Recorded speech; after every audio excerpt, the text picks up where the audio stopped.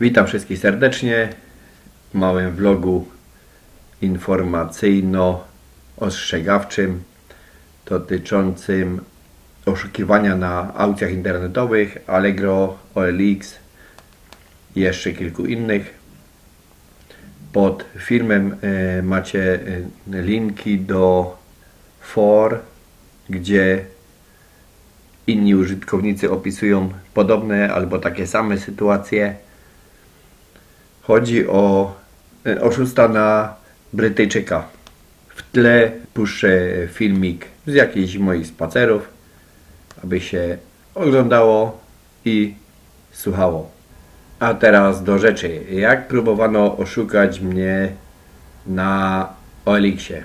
Wystawiłem tydzień temu e, kamerę.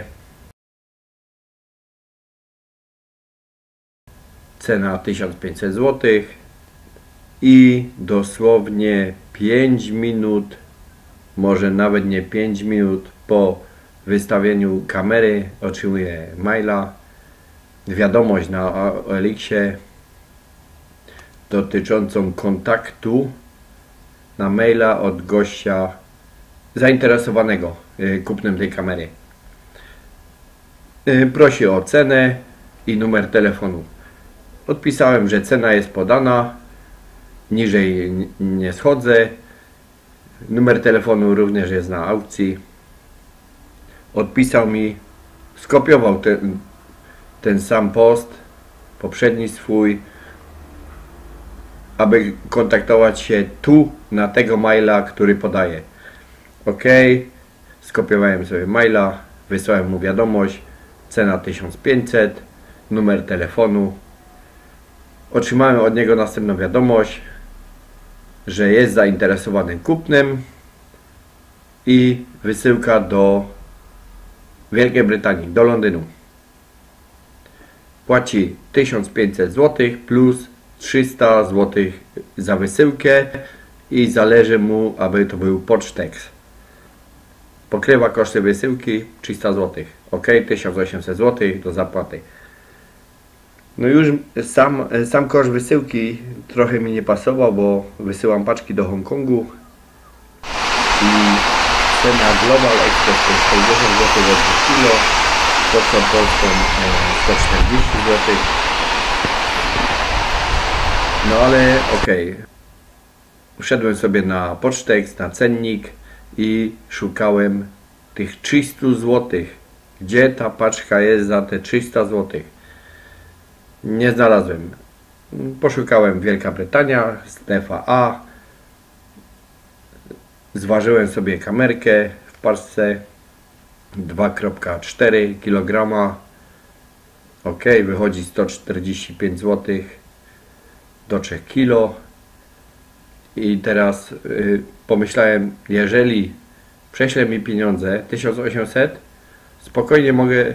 Na początku chciałem wysłać Global Expressem, ale Global Express jest do 2 kg. Ok, pocztek 145 zł mnie wyjdzie przesyłka, jeżeli jego pieniądze wpłyną do mnie na konto.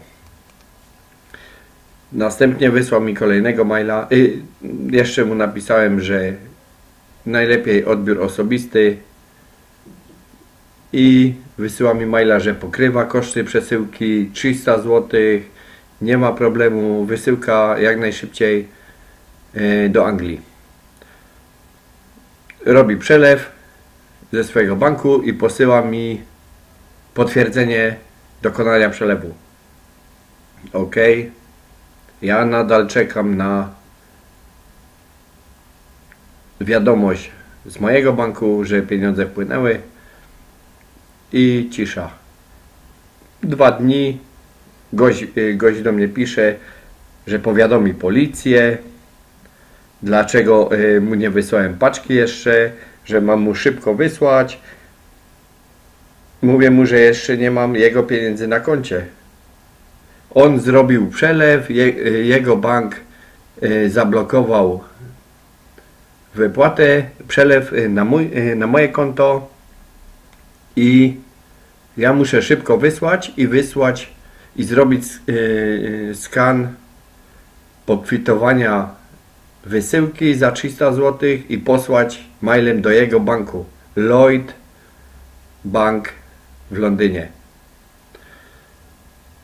I pomyślałem sobie, ok, jeżeli paczka ma 145 zł kosztować, takie pokwidowanie bym wysłał nawet gdyby, to skąd bank będzie wiedział, że to ta przesyłka, skoro ma być 300 zł w przesyłce. No ale ok, odpisuję gościowi, widzę, jest link, że y, jest potwierdzenie, płatność 95%, ale ja muszę mieć pieniądze na moim koncie. Wtedy mogę dopiero wysłać przesyłkę. A i gościu odpisuje od razu. Mam, y, mam się nie martwić, mam wysłać i wysłać potwierdzenie do banku, wtedy bank odblokuje. On teraz nie może nic z tymi pieniędzmi zrobić, bo bank, jego bank zablokował mu jego 1800 zł i dopiero gdy dostanie kwitek ode mnie o wysyłce, momentalnie wysyła do mnie pieniądze i już mam na, na moim koncie. I że to jest transfer międzynarodowy i że to tak działa. Ja mu odpisałem. Na polskich aukcjach są polskie zasady. Moja zasada jest albo odbiór osobisty, albo wpłata na konto. Wtedy rozmawiamy o przesyłce. W Polsce, nawet w Polsce, jak komuś zależy, szybko już mi posyła dowód wpłaty, że już płacił na spokojnie. Czekam aż wpłyną pieniądze. Ja na, y, nie wysyłam nawet przedmiotów za pobraniem bo to też jest trochę ryzyko, ktoś nie odbierze i znowu yy, stracone kilka złotych. Jeżeli ktoś się decyduje na taki zakup na Olixie, ok, na Allegro inaczej to trochę działa. Piszę do gościa. Wpłata na konto będzie. Yy, będzie wysyłka. W międzyczasie jeszcze y, gościu mi posłał y, adres e-mail Lloyd, Lloyd Bank abym się z nimi skontaktował i potwierdził, że to jest wszystko prawda, to co on mówi, oni mi to potwierdzą, że pieniądze na mnie czekają. Mówię mu, wypłać sobie te pieniądze z powrotem, prześlij mi normalnie, spłatę na moje konto albo PayPal. Nie ma innej opcji mojej wysyłki, dopóki nie ma pieniędzy na moim koncie, nie ma żadnej wysyłki do Anglii. W międzyczasie skopiowałem sobie ten adres e-mail, wrzuciłem go w Google, otworzyłem sobie stronę tego banku, zgadzała się ikonka, wszystko jak na, na tym potwierdzeniu. Tylko jedna rzecz. Lloyd Bank, jego link, jego e-mail, a oryginalny e-mail z tego banku jest Lloyds S na końcu. Lloyds Bank. Czyli zrobił sobie własnego maila bez eski, tak żeby to do niego doszło. On wtedy by mi odpisał, że wszystko jest ok, że mogę wysyłać.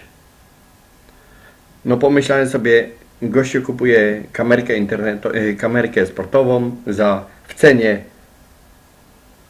GoPro 7 Black. To jedna sprawa. Kupuje używaną kamerę w Polsce za takie pieniądze, jak w Anglii na pewno może sobie kupić taniej. Wrzuciłem znowu link do e, Google'a. Wygooglowały mi się właśnie te fora, które macie w opisie pod filmem do, dotyczące takich samych przekrętów. I na Allegro i na Olexie poczytałem wziąłem linka chociaż teraz y, myślę, że trochę niepotrzebnie mogłem, mogłem się z gościem trochę pobawić jeszcze na, na mailowo wziąłem linka z tej aukcji i mu przesłałem na, na maila. Znaczy nie z aukcji, tylko y, z forum. Przesłałem mu na maila. No i od tej pory cisza.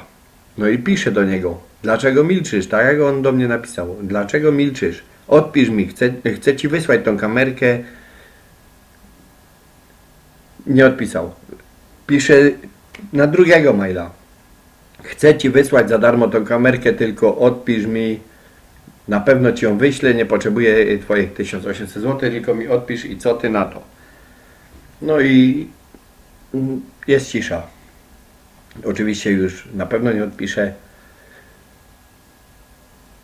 I taki krótki, krótki filmik ku przestrodze. Na pewno wielu, wiele z Was spotkało się z czymś takim, a wielu z Was jeszcze